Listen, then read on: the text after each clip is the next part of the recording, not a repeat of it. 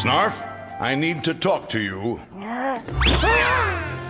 You did such a great job watching Prince Lion-O. You should watch him from now on.